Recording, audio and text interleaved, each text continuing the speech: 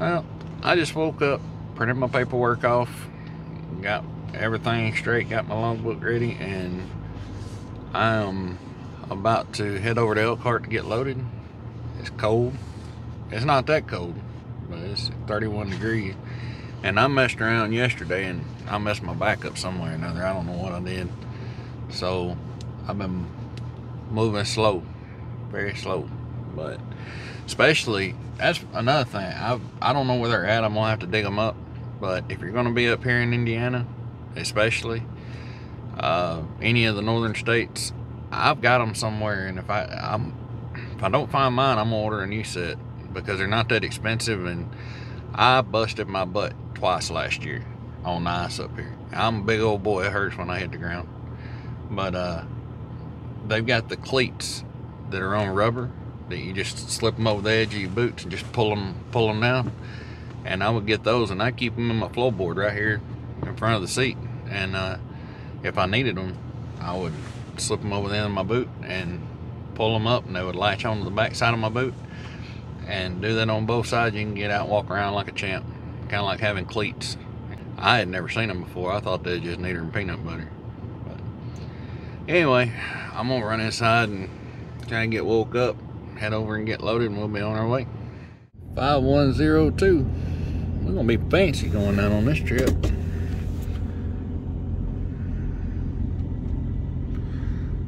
I'm not used to this. This one's already got batteries on it. But either they're well I was wondering if they were gonna be dead on me but I believe they're turned off so let's turn it on yep she got power so that's a good deal. Don't even have to use my battery. All right looking up there at the top window I see some little marks coming right around the window. Well and it blurred out but I'm gonna say that's the silicone from sealing the window in. And then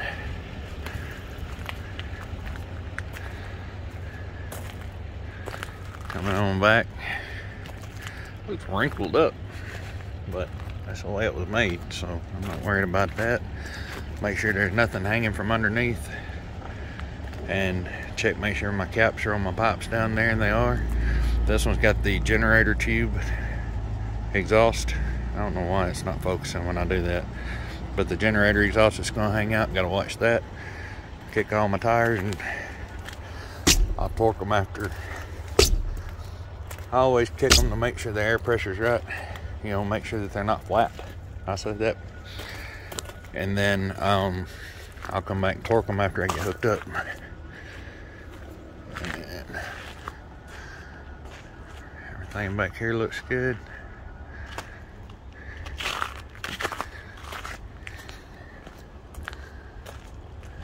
The best I can see down through there, everything looks good. We're gonna walk down through here and look it over a little closer, but it's better for me to look from a distance. I can see a lot better. Get up here and check all the cubby holes, see if there's any paperwork. A lot of times the paperwork will be in here, but I'm gonna check the doors first. And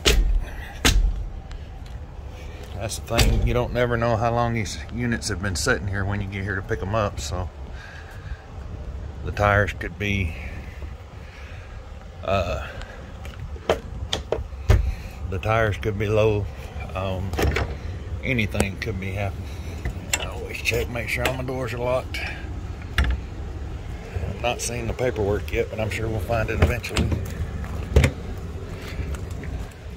Figured it would have been right. here yeah, right over there.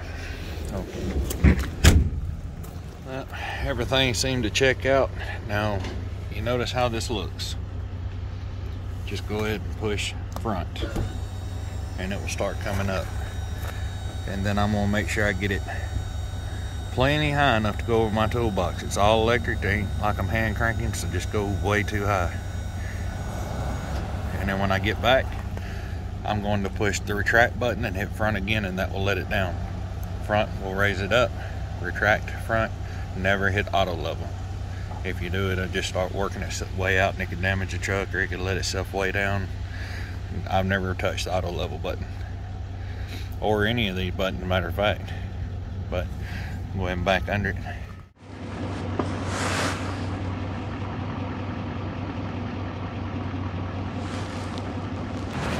All right, now I'm gonna come back and do just like what I told ago. I'm gonna hit retract. The light will light up. I'm gonna hit front. It's gonna go down. And I'm gonna go just lower than what my fifth wheel looks, which that may be just a little bit on the low side, but it'll be fine. Then I'm gonna come in here and make sure my jaws are opened up, which I've already looked and they are. Now we're back on under. Now one thing about it, when you're backing up, I don't care if you've been doing it for 20 years or if you've been doing it for 10 minutes. Get out and look as many times as you feel like you need to to be comfortable. You know, the one time you don't get out and look is the one time you're gonna have an incident. So always get out and look. And if there's anybody ever says anything to you about a lot of people worried if they stop and get out and look 15 times, somebody gonna say something to them about it. And if somebody does walk over and say, dang, you gonna be all right, you having to get out a bunch or something like that, discouraging, they're probably the one with the long list of damages. I mean, you'll get used to it as you go, but always get out and look.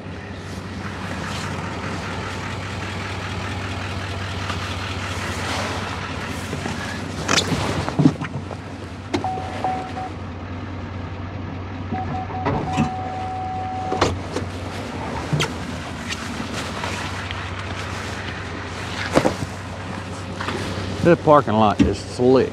Super, super slick. Now, I started leaving my pin hanging. You can see where it was at. Let me get it hooked up here and I'll show you.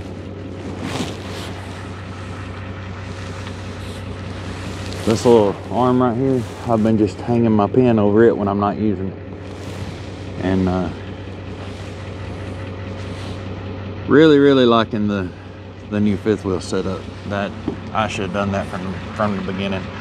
But the other company that I was with required a sliding fifth wheel you know so is what it is it's fine. But I'm really happy to have it set up like that now.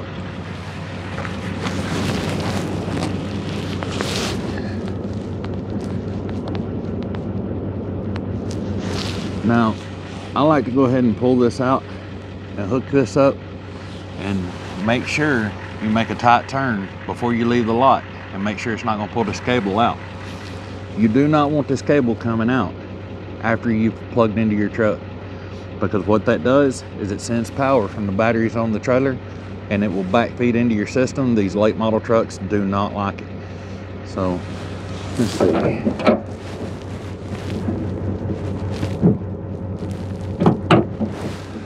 That's a little short. We're going to check it just the same, but I believe, personal opinion, that's a little short. But we'll see. Now, what's the next thing I do? Before I go any further, the next thing I'm going to do is make sure that those jaws are locked. And I see that they are. And I want to do that after I latch the pull my arm around and lock it in, that's the next thing to make sure those lock those pins actually did grab that kingpin. The jaws actually did grab the kingpin.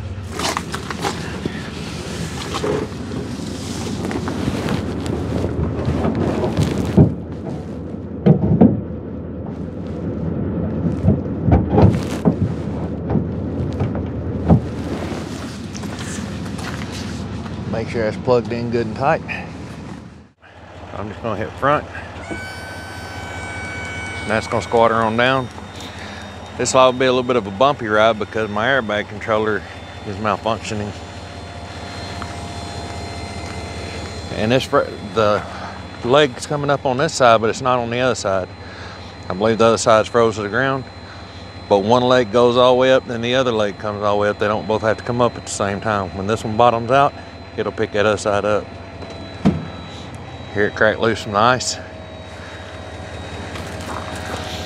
Now I just want to stand over here and watch until it's all the way up.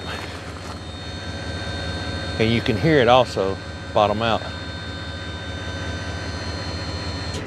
That's it. Oh, when I open this door up, this is where my paperwork's at. There's a lot of lights on in here. If I can, I'm gonna turn these lights off. This one doesn't have a switch. It opens with, it comes on with the door, but I turn as many lights off as I can to make sure if I park overnight or something happens where I have to turn my truck off for a long period of time, the it won't drain my battery. We'll get the keys and paperwork. Then I'm gonna pull off this sheet of ice I'm working on, get out here in the gravel somewhere and finish up. Walk back up here, I'm gonna check my brakes. I see they are working. I was pulling my gooseneck at home and the brakes are really tight on it. I'm turning these all the way up and I adjust them down as I need to to keep from sliding the tires. Well, there she is. All hooked up, ready to go. Tags on, lug nuts torqued. Um, yeah, just taking one final look around. This parking lot's slick. Doesn't look it, but it's slick. But at least I ain't Mr. Tennessee. He's over playing in the playing in the uh, mud this morning. He went to a different yard that's known for being really muddy. And all my lights are working. Everything seems good on that. The GVWO on this one is uh, 20,000 pounds. The shipping weight is 15,200. So if a truck weighs 10,000, the unit weighs 15,000. If I was another thousand pounds heavier, I wouldn't be able to haul it. Not with a 26,000 pound tag on. So, kind of going back to what I said, the stuff I was talking about in the video the other night. Anyhow, my airbag controller has went out and is not even trying to work so that's on stock suspension right there. I'm gonna try to play with it later on to see if I can get it to work but I mean really when you look at it looks to me like it's flat level it's not squatted at all. Maybe y'all can see something in the camera I can't but one thing I have a hardest time remembering to do pull my mirrors out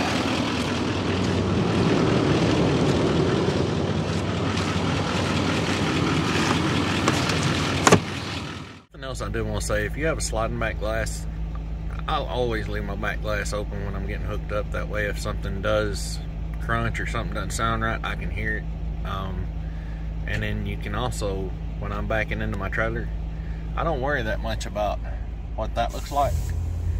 I'll worry more about what that looks like. I keep it center of that window when I'm backing into it. And that helps me out a lot. Now, if you hear the compressor kicking on, I know I said my airbag controller was malfunctioning, and it is. I was just giving it a last shot because I'm not laying on the ground up here.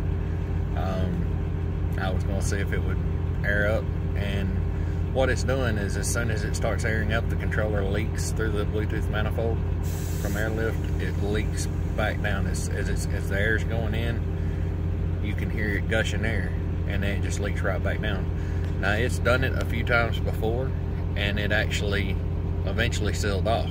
So that would be nice if that happens. But if it doesn't, then I will stop and put, see if I can show you, where the lines come from the uh, Bluetooth controller, there's a T in it. I will put this guy in, take the T out, make it straight, and then I have an emergency valve on the back that I can use to air it up if I need to, you know. If this thing's just beating me to death going down the road, I'll air them up. If not, I'd probably just leave it alone. Um, or if by the time I get to dry pavement, if they've uh, started working, I'll go on. And if they don't start working, I'll pull a fuse on it because I don't want it sitting there burning my compressor up. So when I was at home, I was pulling my gooseneck. When I was pulling my gooseneck, my brakes are super tight. So I had them down about three. Um, or I'll slide my tires. Now, this thing, I, when I hook to a camper, I usually go straight to 10. I'll let it start rolling. and then I'll hit the brakes. That slid the tire, so I know I need to come down some, probably a lot. So we'll take it down to 7.5. I will squeeze the controller again. That's still a lot. I heard the tires slide. Go to five. That's a good smooth brake. Now I'll adjust them again as I ride. If they tighten up some more, I believe I could come back up to six because these new trucks work off uh, brake pressure the best of my knowledge. So the harder you apply the brake, the harder it goes. You know, I'm sitting there feathering the brake pedal. So if you want to have, you can't turn it down to three and still have brakes. You need it tightened up as tight as it'll go without sliding the tires. Now, if it starts raining, you need to check. If it starts snowing or ice on the road or something like that, you need to back them off again because, you know, a little bit because you don't want them sliding. And away we go. I checked my my emergency breakaway cable. I didn't do that. I wished I could have got more of it on camera for you guys, but if I'm acting like I don't feel very good, it's because I don't feel very good. Like I said, I twisted my back sometime last night. I don't know if I slept wrong or what, but yesterday it was bad too. It was actually worse yesterday than it is today. I don't know what I'm doing, but my back is jacked up. So, getting frustrated with this. This is the piece that's malfunctioning. And you'll probably hear it in a minute. And I'm just getting tired of it because it's running my compressor to death. I it's done it a few times and it's sealed off when I put a load on it. But what it's doing when it goes up, you'll hear it sound like it's leaking, it's gushing air. And after the tanks go up, now it's coming back down. So it'll just sit there and leak. And it's leaking out of the exhaust port. And like I say, I was two months out of warranty, I think, on getting this replaced. So I am going to bypass this and just air my bags up. Just put just a little, it's riding good. I mean, I just don't like feeling it constantly go up and down. Here my compressor kicked on. So anyway, look at all that. If you do put an air tank on, make sure you get a good way to get out of it. So anyway, I'm gonna go ahead and fix this. I'll show you what I'm doing. There's my rear end. I fixed the pinion seal last week. Last time I was home, I made it to Indiana, back down this far, everything looks good. Now if you look, right there, there's a T-connector. And what I'm gonna do is just unplug the T-connector and get rid of the line going to the manifold and just link those straight together. And right on the other side, there's another T-connector that goes to the emergency valve on the back of the truck. And that's what I'll be filling it from. I'll fix this and then I'll show you what I did. Now you can see the one airline I just taped off. I don't know if you can see that or not. I just taped it off to keep stuff from going into it. And then I put the uh, other connector in and took the three-way connector out. It was really quick. The quick connectors are great for stuff like this. They are, they don't seal very well. So that's it. I pulled the fuse out of the air, the airlift, the wireless one, and uh, that way it's not sitting here constantly discharging air. And now I'll take my air hose and air my bags. So by doing it this way, my air compressor still works, and you heard you hear it running over there now. It kicked on when I plugged the air hose into it. Right beside of that, there's my emergency valve. I don't know if you guys can see that or not, but it's right there. So now I look at my springs and you see how all the springs are compressed, they're all together that bottom spring, when it barely gets a crack in it, I know from all the years, and from all the time I run this truck, that's where it's gonna ride the best. Put some air in it.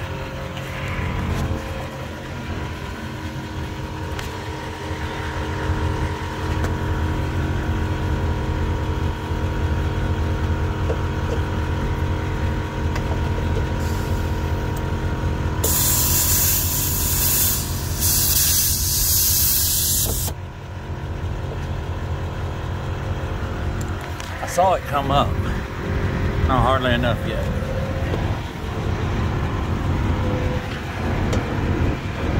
Kind of hard for me to do one-handed, but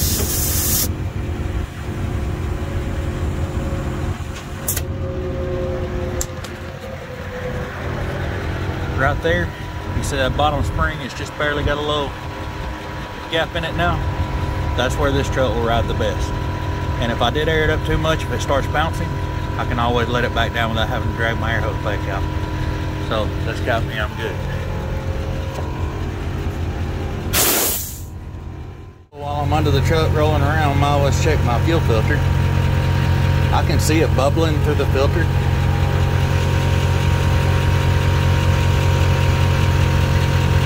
I can see the bubbles coming in. I know it's transferring. I would really rather that filter be on top in the bed where I can, where I can watch it, but no leaks.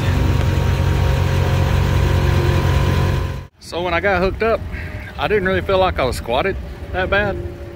But now I would say I didn't put a gauge on it, but I'd say it's probably maybe around 25 pounds of pressure because I it may be 35 and it's got just a little bit of a rake to it. I believe that's going to be a little bouncy. I think I'll probably let some out, but it looks it looks good. It's going to be a lot better. It was doing fine. I just kept hearing my compressor running and running and running. If I'm to do it, I might as well say I'm up. So let's get back on the road. So I put the filter on, and this is the reason why I don't run a filter because it drains so much slower going through the filter being gravity fed.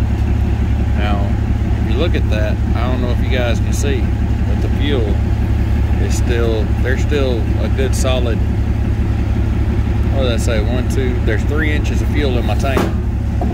And uh, right before I got here, I'm gonna tighten that down all the way because I'm right here at the fuel pump. But right before I got here, it got down so low that it sucked there. When it sucked there, it misfired. Check engine light came on. So I'm not real sure how that filter is going to work out, but I will let you know. Right now, I can either turn it on sooner and try to drain more out, but the three inches of fuel, that's a lot of fuel. So good possibility that fuel filter is not to work for me either. So here in Joplin, Missouri, at the I-44 Petro and getting ready to get out and or getting ready to get on the road and uh, just kind of walking around looking.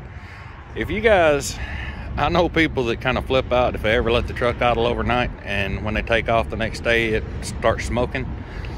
Chances are it's not oil smoke. It's if whenever you park that night, your truck's getting ready to a regen. I believe it just loads the exhaust up and that yellow stuff running out of the exhaust pipe right there, that's what it is. And I know a bunch of people saying, delete it. You know, yeah, it may be coming, I don't know. But right now, I mean, I was just pointing out, if you do start smoking when you first take off after idling, it's probably not an issue. It's probably just burning that unburnt DEF off.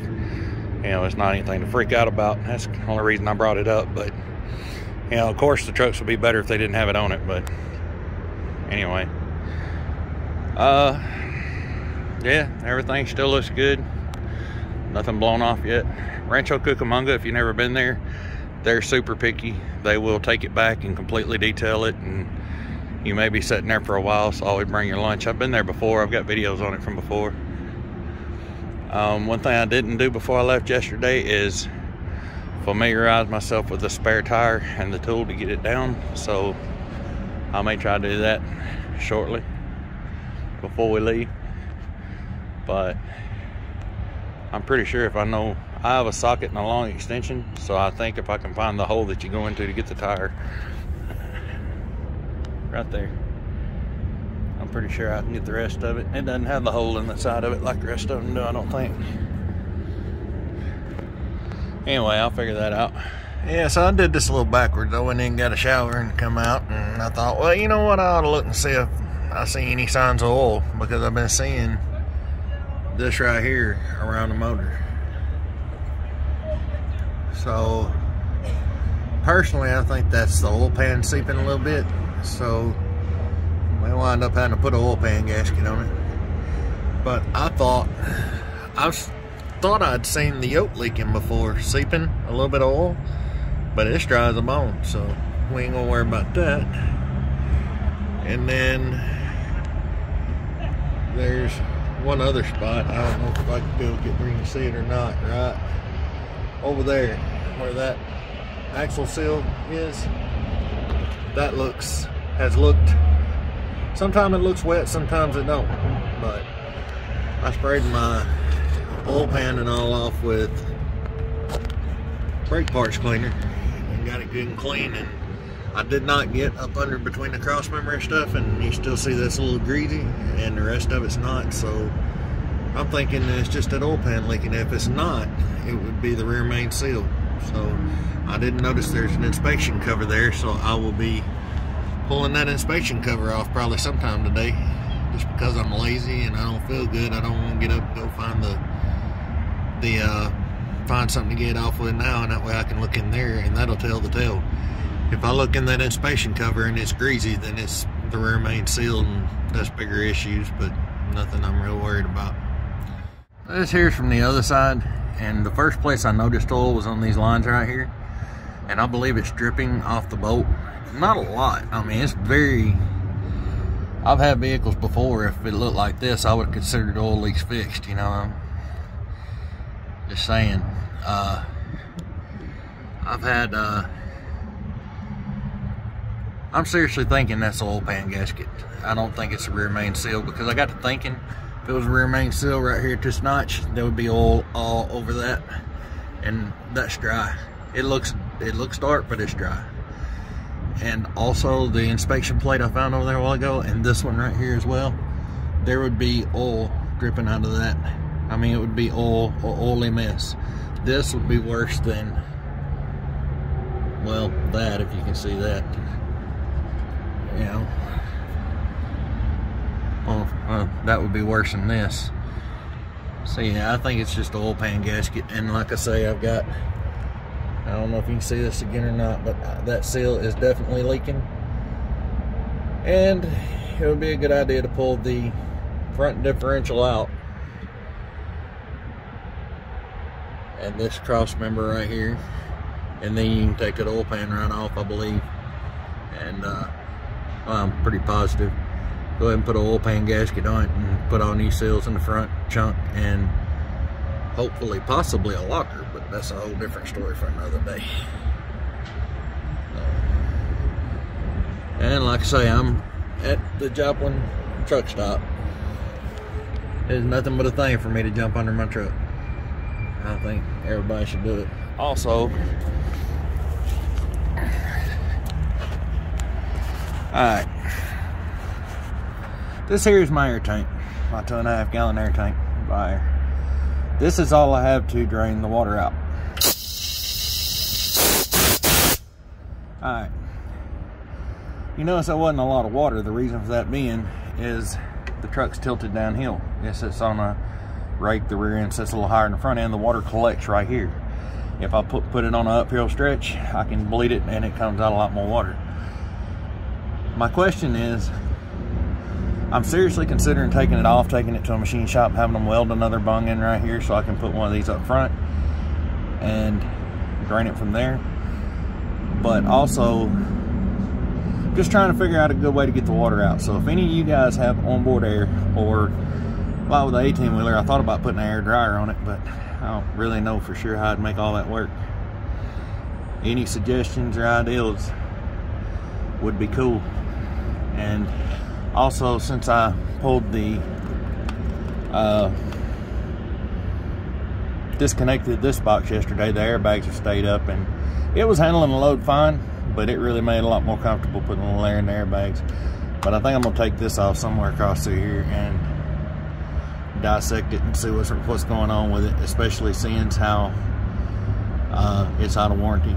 There you know.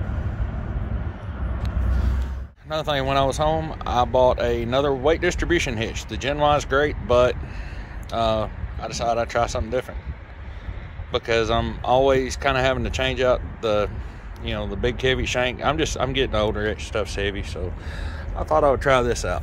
So, one thing I was wanting to point out is, well, a lot of people want to know what the little balls are for up there. I, you know, a lot of folks don't know it's for sway control.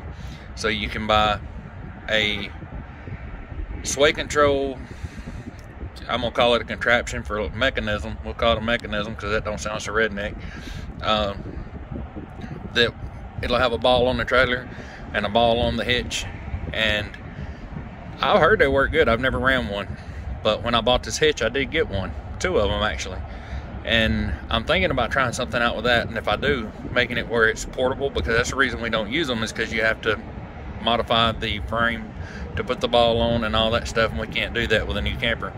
I'm working on something and I'll have a video on that if, I, if it works out. Now, if you'll notice, my hitch is barely slanted back, barely tilted back. When I got the hitch, it was not. It was standing straight up and down. Now, the reason for that is, I'm gonna show you on Mr. Tennessee's truck over here next to me. He just happened to have a bumper pull right next to me. There's not much to doing it. Here, I'll show you this. All right, so if you look at his uh, bars, his weight distribution bars, you want those bars to be pretty well straight. You know, you don't want them kicked way up in the front. You don't want them like that or, you know, way down. You want them level. They, they just tend to work better when they're level with the frame of the trailer, when everything is a straight shot when you look across back here. Now, in the event that his were pointing down, he had enough tension, they were just pointing down, meaning that they could drag or something could, you know, they're just, they might be too low. Well, then you tilt that hitch forward. You would tilt it this way and it would bring those bars up. You still keep the same tension, you just have, your chains will be shorter, you know. And then if in my case, where the bars would be up too close to the trailer frame, it'd be way up here.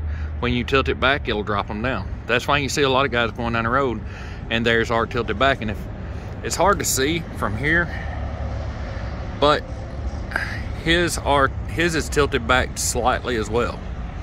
And his bars are almost perfectly level with the frame.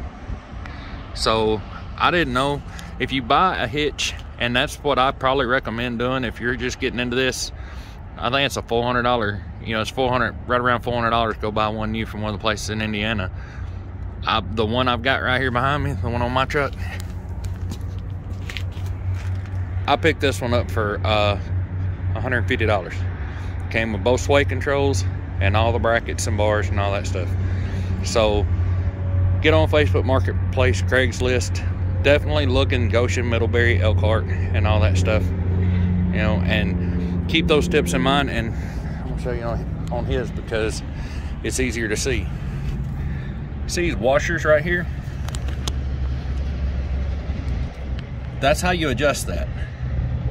You put more washers in to bring your bars closer to the ground. You take some washers out to tilt them back, tilt the bars back up. And there's a, a, a bolt right down here. That bolt is, when you tighten that bolt up, it tightens those washers up. And then you can look at it and see if it's where you want it. And if it's not, then you would, you loosen it, take a washer out, out a washer, and tighten it back up. So that's what I wanted to show on that. And it's it's really not hard. I'm I'm thinking I will probably kind of make a, a, a video on how to set it up, even though there are some other setup. But it will be uh, more so on the sway control. If I can make that work, I think I like it. And I'll go ahead and tell you what I'm planning on doing. From what I've seen, the sway control, there will be a ball right here on his hitch, just like on mine over there. And then you'll have the sway control piece. And you can put it on either side. See where the breakaway box is right here?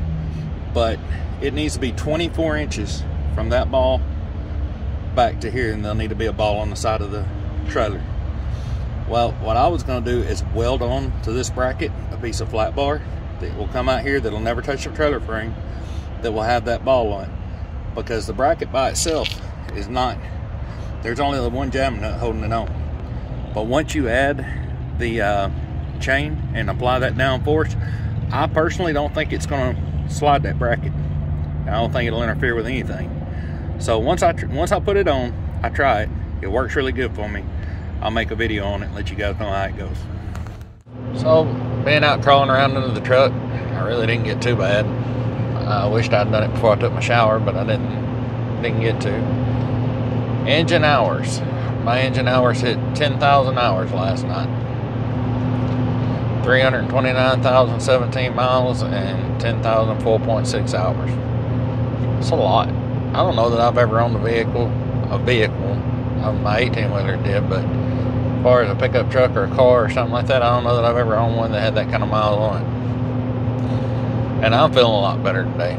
Um, past couple days, I, I, don't know if I, I twisted my back or something. It just, I was worried it was something in my kidneys, but you know, I don't think it is. I think it was just I twisted my back. And being on that ice yesterday, that didn't help at all either.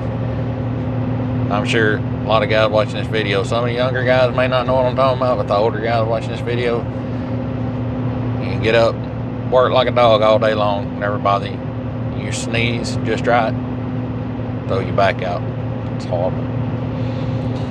But uh, anyway, that I wanted to crawl up under the truck and look because you know she's getting older, getting a bunch of miles, a lot of hours, and all that stuff, and I'm expecting oil leaks. I'm expecting anything. I'm trying to prepare for the watch for the worst and hope for the best. You know. So uh,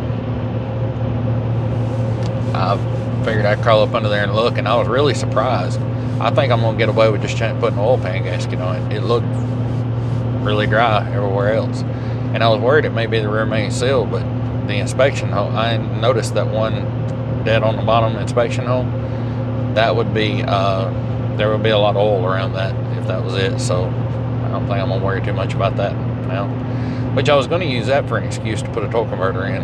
I really want to put a torque converter in, but I'm really just not feeling it at the moment. I don't have a good place to do it and all that. But every now and again, whenever, well, pretty much every time, it'll go through first, second, third, and then when the torque converter locks up, you can watch it on on my screen where I have the thing. It'll show when the torque converter locks up. It, it just grinds. It sounds like you're slipping gears in, automatic, in a straight shift, a manual. And uh, started doing that at 230,000, and here it is, 330,000. 330, it's 100,000 miles, and it hasn't gotten any worse. So if it's not broke, don't fix it. But at the same time, if I have a reason to pull all that stuff apart, I'm gonna do it anyway. Welcome to Oklahoma. The scales back there, the Joplin scales, I was really hoping to get a video of rolling across those scales with the toy hauler. Because whenever I was uh, hauling the 18 wheelers, if you saw how, how we were doing that with a booming, you were driving one semi, towing the other semi with your pickup truck up in the middle on the back. And they were, I did not get one of those tickets, but a couple other people I know did and I was running with people, and you'd be three in line, and they would get the first one and pull them in, you know, and they would when they did the inspection, they'd give them a ticket because doing it that way, there was no way to get your axle weight right. You were over on the axle all the time, and that's another reason I didn't really particularly care for that. I, it, was a cool job. Just I didn't care for the company, and I didn't care for that that one little, little legal issue that we were going to get overweight ticketing anytime across the scale.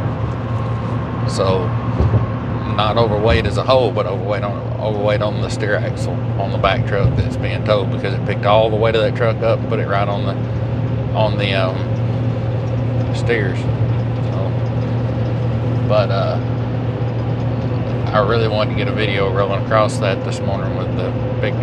I've been across that scale for two years with these big campers like this, and they have never bothered me. As long as I'm under my 26,000, they, you know, they don't bother me. And I was going to weigh this one back there just to see what it weighed, but I didn't. I'm lazy. But uh, I'm sure there'll be plenty more. I went across the Missouri Skills on up on 44. I come through there, and that's the first time I'd ever seen that scale house open kind of blew my mind. I come over the hill and saw the green lights of the closed lights, you know, the open lights of the closed lights. But if you do pull a triaxle, when you go through the scale, the tolls up here, the tolls will be more expensive because they charge by axle. Some in some places charge by weight. These down here charge by the axle when you pull up the ask you how many axles you got. And you got two on the truck, three on the camper, so that's five axles, and it'll be a little more expensive. So on 44 coming across here with five axles is $20.50 in case anybody want to know that 2050 at two different toll plazas so it's $41 and if you got four axles it's 12 two twelve twenty five, so it's twenty four fifty for the tolls coming across forty four from uh, Oklahoma City to Joplin. So I had a friend of mine call just a few minutes ago, right uh, right as I came through that last toll, and he asked where I was at. I told him we was about to come into Oklahoma City. He said, "Yeah, you might want to start looking for a place to pull over." I said, "Why?" He said, "And I've not noticed any wind. I've not noticed any wind at all." And uh, Mr. Tennessee had said something about with that bumper pull. He said, "Man, that wind hitting you yet?" I said, "No." He said, "Well, I'm feeling it. You know, it's not bad. It's just I am feeling the wind picking up." So we got to looking. If we can make it to Sayre, Oklahoma, that's probably where we're going to be at till tomorrow afternoon sometime. It's going to be 50 mile an hour wind gusts all the way from, well, really, it's just going to get worse and spread out further. Right now, it starts in Sayre, Oklahoma, and goes all the way to Amarillo. By the time we get there, it's going to be, it'll spread all the way over to where we're at right now. We may have shut down before we get to Sayre, just depending on how it is. We're both going to keep a good watch on it and see what happens. So that's what happens. You leave out thinking, oh man, I got all the time in the world. I have four days, go three days worth. And then once you get on the road, you'll either hit that backup or those multiple backups or wind or something will shut you down. So that's why it's always best to run it like you know, like you need to. And if you're gonna have downtime, have it on the other end. Have it closer to your delivery versus dragging your feet first taking off and all that stuff and then still having that whole ride to go for something to go wrong. Well, this is uh, not where I wanted to make it to tonight, but this is it. Uh, the wind is horrible. We're moving along about 45 mile an hour, and it wasn't even affecting me until it did. When it when it finally started hitting me, it was hitting me really hard. And this is the next exit after that. We're like 50 miles from Sayre, Oklahoma.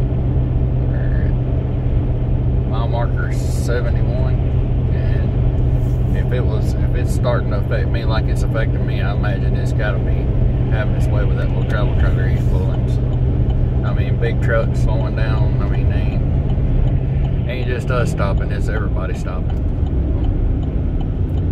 It's just time to get off road. The bad part about it is we'll most likely be here till I think three o'clock tomorrow afternoon when it's supposed to calm down. So that's even if we can get parking in here.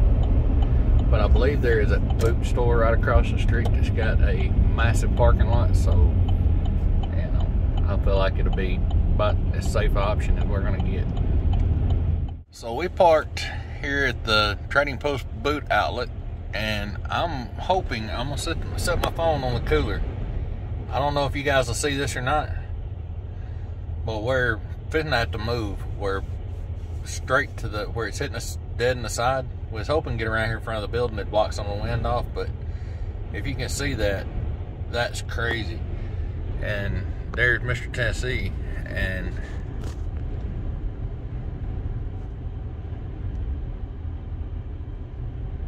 my truck's moving more than his is. Which he has that 18 wheeler blocking the wind off of him, so that's a lot better for him right now. But it, that that trailer still gets to dash around like crazy every now and again. In which I can't hold the camera still. I mean,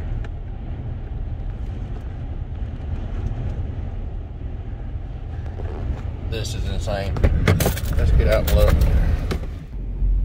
I had to turn the volume all the way down in this clip because the wind was just so loud it would it, yeah I just turned the volume all the way down you can see the chains moving on the side of the fence but the truck in the video I can't really see that it's moving that much but we were standing there watching it lean back and forth in the wind it's crazy how much calmer the video makes it look but anyway it was definitely time to get off the road this is the next day while I'm editing and I'm still sitting in the same parking lot it was just ridiculous.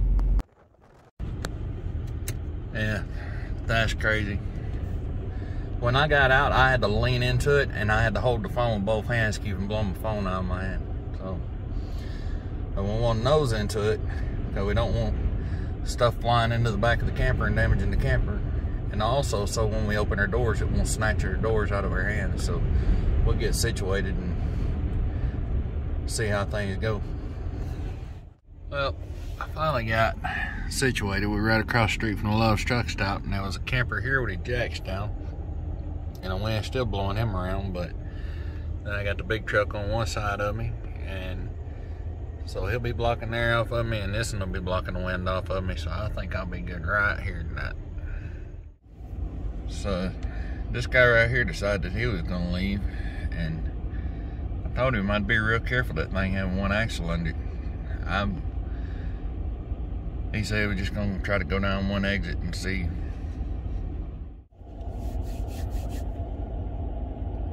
Just woke up.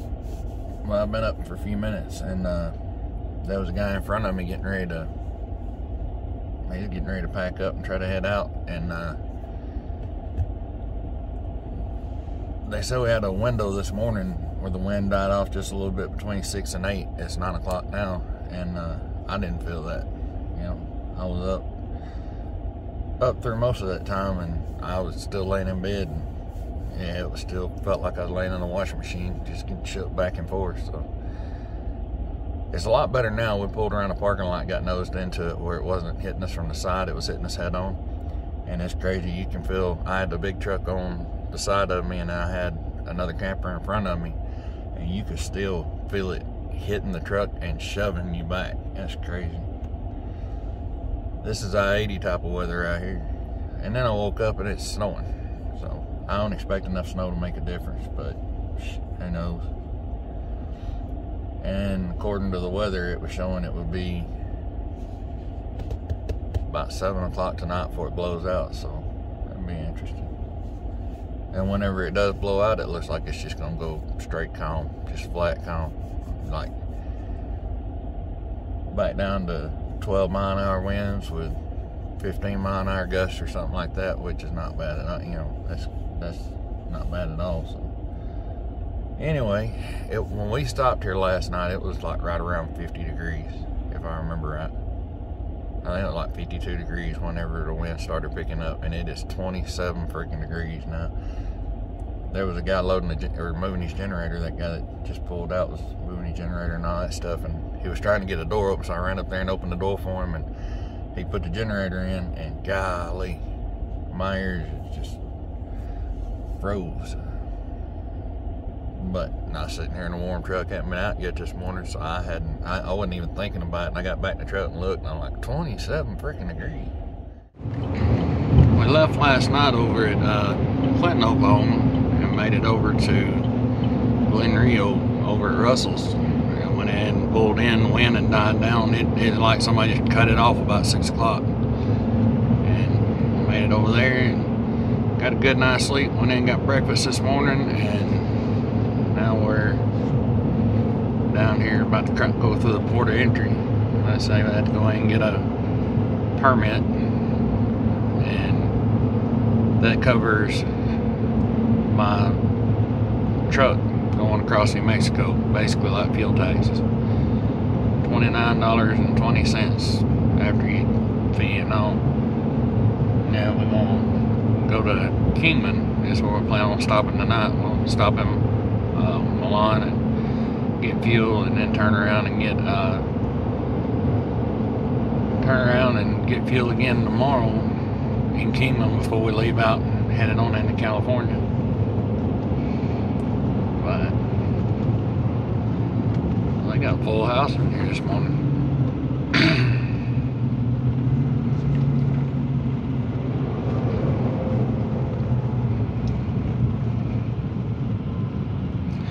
I'm gonna have to stop and take the fuel filter off somewhere. It's not, it's really put a big restriction on. I was hoping that would be a freer flowing filter with a, and with the glass on, I'd be able to look in and see what kind of trash was accumulating from my tank. But I said, it's been two years. I haven't had a problem with it. I'm just going to, I may step up to a 3 8 line. I got a 5 16 fuel line on it now, and I may step up to a 3 8 That way, it just has more, um, you know, more volume put the filter back on and see if that steps it up. But to do that, I got to change the fittings on both ends. So, you know, yeah, that goes. Anytime you're pulling through a scale house, always roll your left window down, your driver's window down, because they've got speakers out here that they will give you directions sometimes over the speakers. So, uh, especially if you messed up, they'll they'll get right on those speakers if you mess up. but uh,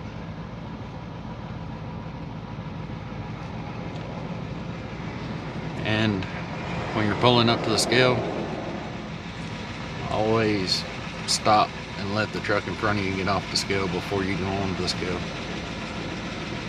Like right here,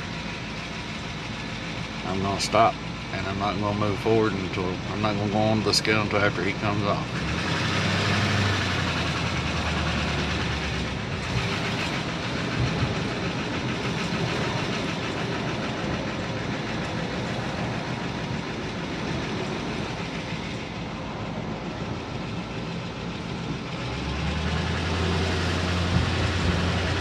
Yeah, they held up the sign that said park come inside. That's a every time thing. So we'll run inside, get my permit, and then we'll get on the road again. So I did get my tag renewed whenever I was at home, and whenever I went in, I always asked them to make sure they don't need the updated copy because she just asked for my truck number, and I gave her the truck number, she said, uh, I asked her about it. I said, I got my tag renewed. I said, you don't need any of that, do you? And she said, actually, yeah, if you have an updated registration. So that was uh, the only thing different. 2920 and 2920 and all good.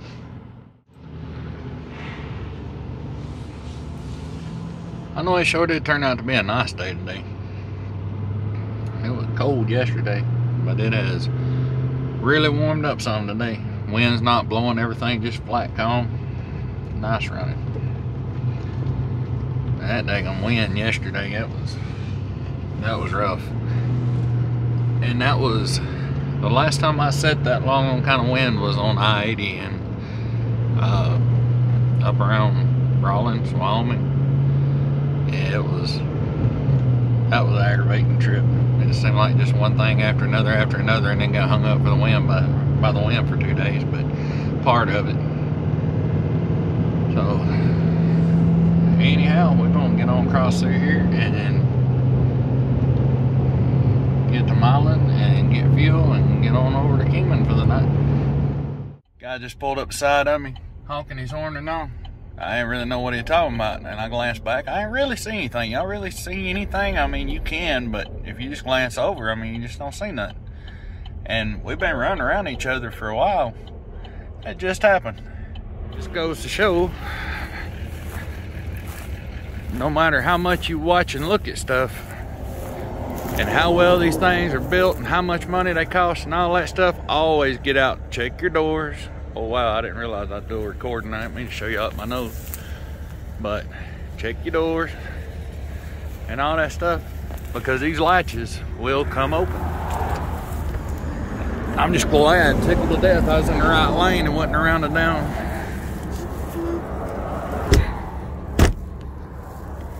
That door is locked. See? It's locked.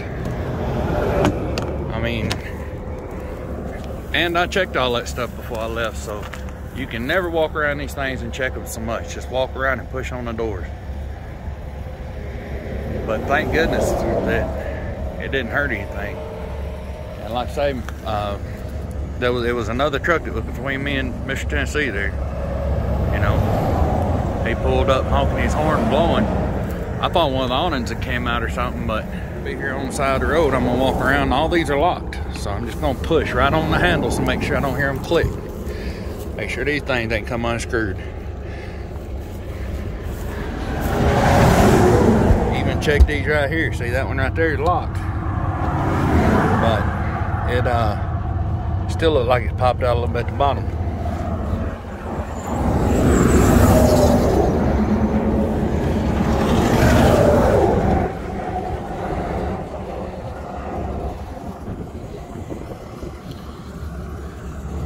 Back there checking his doors too. But yeah, go ahead and get off the shoulder. since I'm here, something else I want to go over.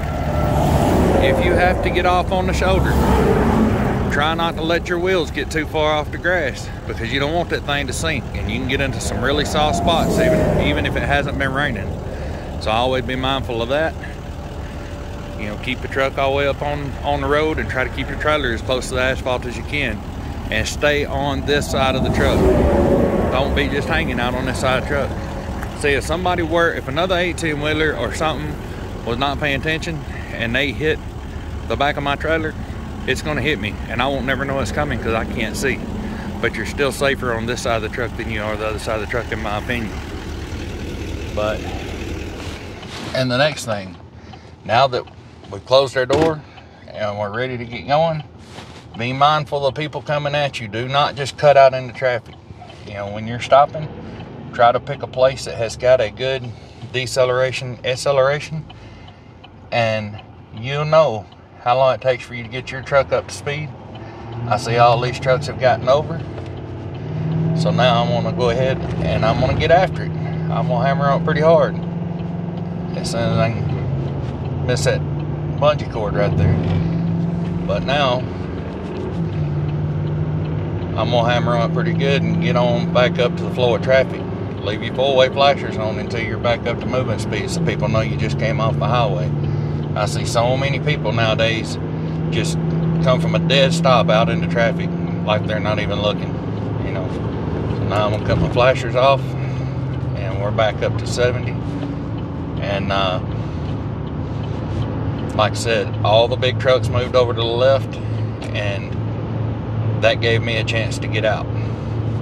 But I would have sat there all freaking day if I had to. I'm not gonna pull off from dead stop and cut somebody off.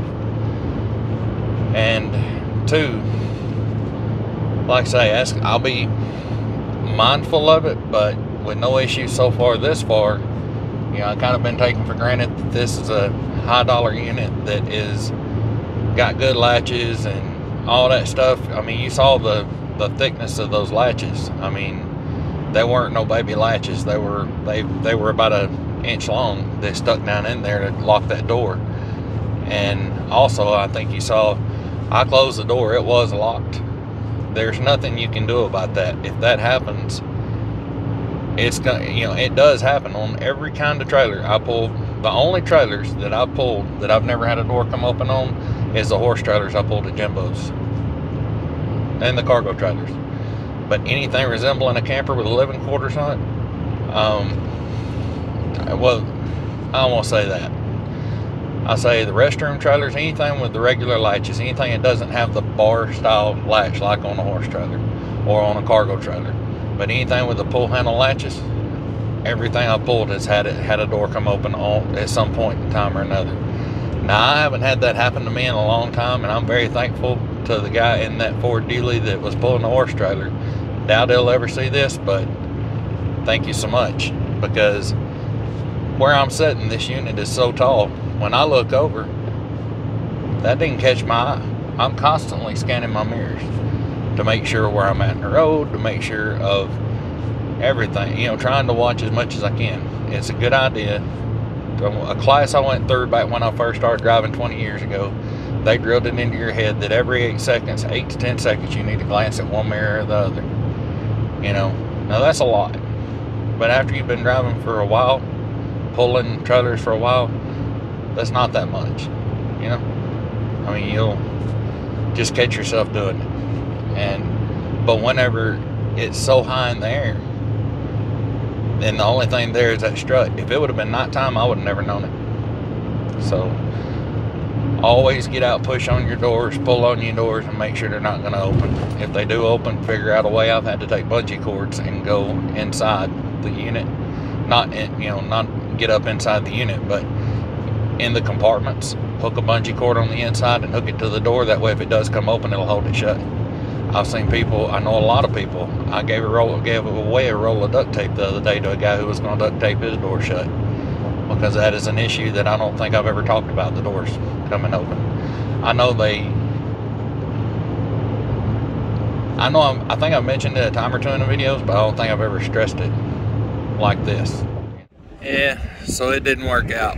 When I took this thing off, it was still full of fuel, the filter housing itself, and I held it up both directions and it just barely trickled through. I don't see really any contamination in it at all whatsoever.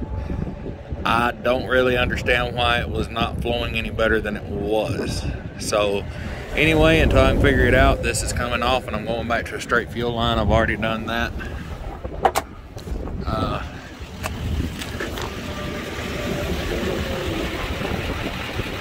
that's what it looks like now. It's actually a straighter flow. I figure it's going to flow a whole lot easier. So, uh, checked it. Doesn't look to have any leaks about to turn in here at Rancho Cucamonga at Giant RVs. And if there's nobody else in front of us, we will pull right in. There's kind of a horseshoe, and you'll turn into that horseshoe and pull around and just drop the trailer and put the paperwork in the mailbox, pull outside the gate, and they come get you when you're done. So, not too bad. Watch these trees down there here. They got trees hanging out on both sides. You have to almost stay to the center of the road for the majority of the ride down through here from the time you get off the interstate to here.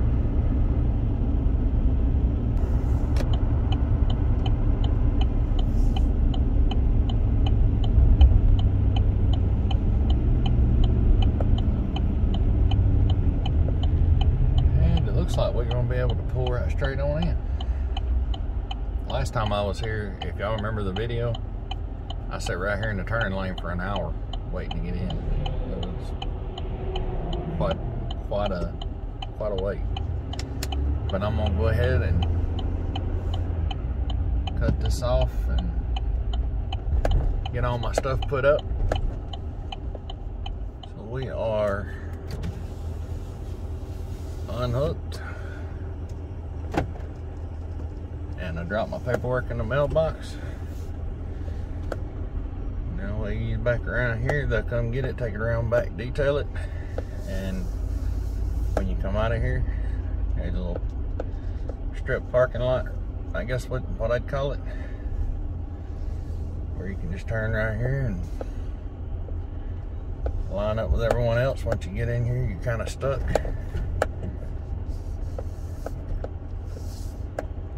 line up with everyone else and they'll come get you when they're when they're done with you. They'll they will yell your name from across the fence most time and you have to be listening. And then sometimes she will walk out from right over the corner there and yell for you.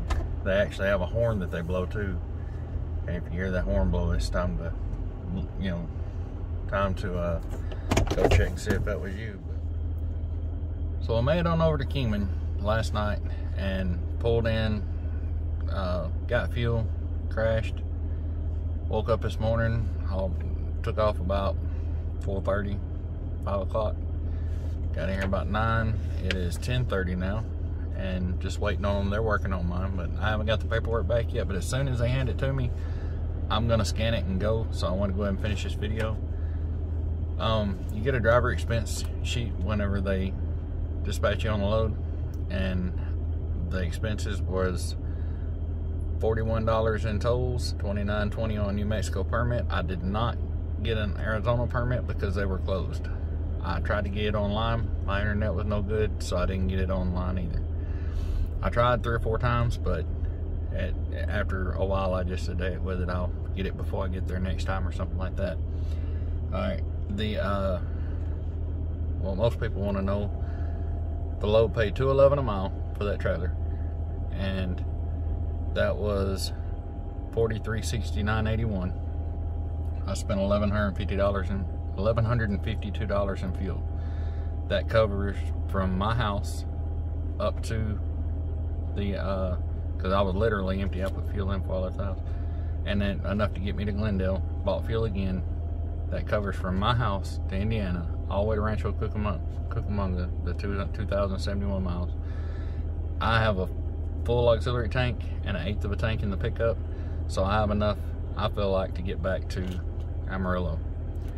When I get to Amarillo, I will fuel up again, but that's going to be plenty enough to get me on to uh, back in back up to Indiana and get started on my next trip. So that will come out of the next load. So that is the full, in my opinion, that's the full round trip. you know, it paid because if I would have been out here delivering, it would have been about the same difference. You know, anyway, so that's my round trip. $1,152. So if you take the 1152 from the 43 6981, that's 32 1780. And there was someone commented the other night, say you can't make no money in single pull. I'm fine with that. I still have to take out for my truck payment, my tags, my taxes, my maintenance, and all that stuff. Still a pretty good week for me. Y'all have a great week, and I will see you again in the next video.